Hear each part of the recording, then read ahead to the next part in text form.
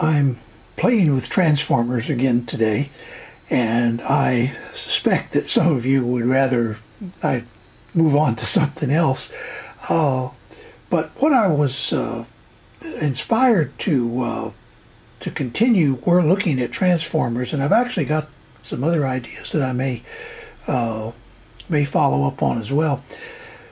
But it occurred to me I was watching a uh, video this morning that uh, Blue Glow Electronics put up on output transformers, in which he was helping someone figure out how to buy a replacement transformer for a for a piece of equipment that had a bad uh, that had a bad unit. And while I was listening, I was anticipating where he was going to go. And uh, by the way, it's a very good video, and I'll show you the uh, the link here in a little bit. But the uh, he he, I thought what he was going to talk about in was going to include the fact that push-pull transformers and single-ended transformers are actually built differently. Uh, but he didn't actually talk about that. He talked about a, a number of other really good things, but uh, I recommend that you take a look at that video. So here is the uh, video that I was watching that inspired me to come back and look at Transformers some more. And what I was uh, expecting was he was talking about the fact that this transformer has three wires coming out of it, but it's not actually a push-pull transformer. It's actually a transformer with a screen grid tap. But the way it's drawn, I'll let you watch the video. It's a good video. I recommend that you uh, that you take a look at it before, uh, well, at some point, either before or after uh, watching the rest of this video. But uh, but the thing he didn't talk about that I frankly thought he was going to when he started talking about the difference between a single-ended and a uh, push-pull is the fact that they are actually built differently. Uh, push-pull uh, output transformers do not have an air gap uh, in the in the core, while a single-ended does, and we'll talk about why in a second. Uh, why that difference? But instead, he was talking about the fact that some transformers have a screen tap. If you've watched any of my videos or anyone else's videos about ultralinear amplifiers, you'll know that the idea of tapping the transformer to supply the screen voltage began a long time ago and was uh, given the name ultralinear for that uh, for that particular design style.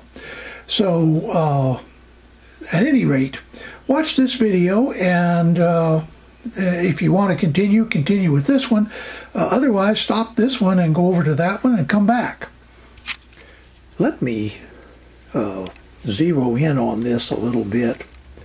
What I'm doing is I'm measuring, and let me back out so that it'll be a little more obvious what I'm doing. I am uh, the Peak Atlas uh, inductance meter is connected to the uh, to this winding and the uh, I have a power supply connected to one half of the other winding.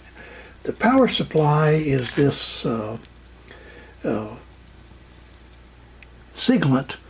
that I have reviewed in the past, and I think many of you have uh, probably seen that one. And what I'm going to be doing is applying a little bit of DC voltage to this transformer. And but first, before we do that, let's measure the inductance of this uh, winding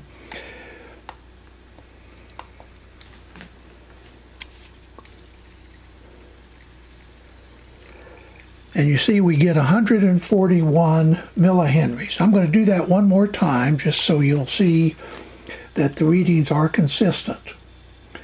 Now what I'm going to do is turn on a power supply with, and I'm going to put 80 milliamperes through the other winding, not the winding we're measuring, and see if the inductance changes. And you see it goes to 175 millihenries. Now I'm going to increase the current to uh, 160 milliamperes or 0.16 amperes and measure again.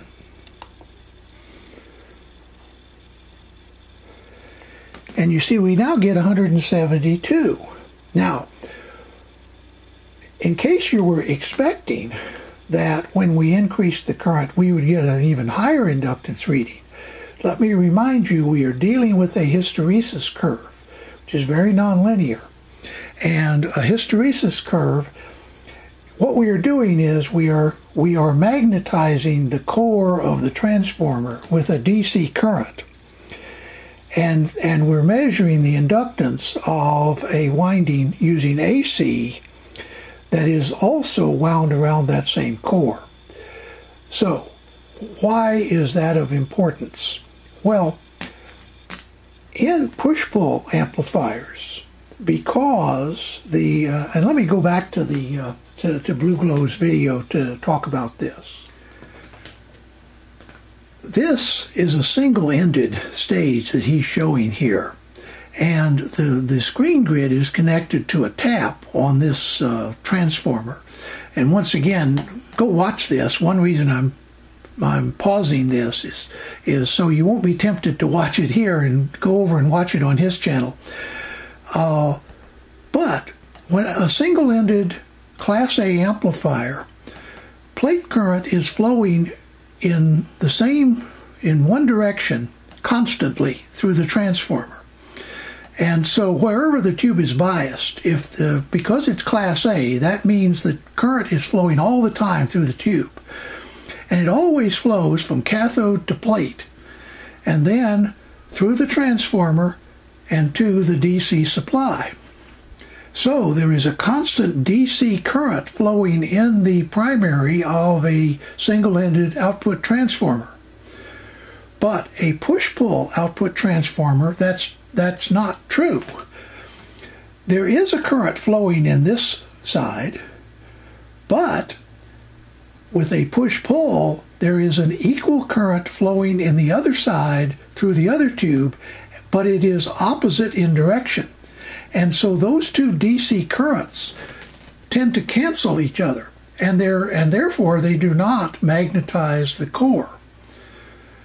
That's the reason that if you are buying a transformer, the only thing I would add to the Blue Glow video is if you're buying a uh, transformer for a single-ended set, make sure you're getting a single-ended transformer that has an air gap in the core.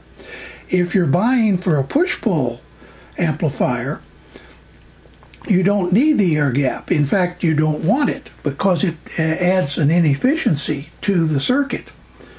So at any rate, I thought that might be something of interest to some people, but I had two reasons to uh, to make this video. The first was I just wanted to uh, point people over to Blue Glow Electronics and this uh, neat video on audio output transformers. And also, I wanted to add the uh, fact that push-pull transformers and single-ended transformers are not built the same. So just be careful when ordering them that you know what you want. Otherwise, you may get the wrong kind of transformer and you may wonder why it doesn't really work very well. So, once again, I hope you've enjoyed this. Stay tuned for some more things and have a nice day.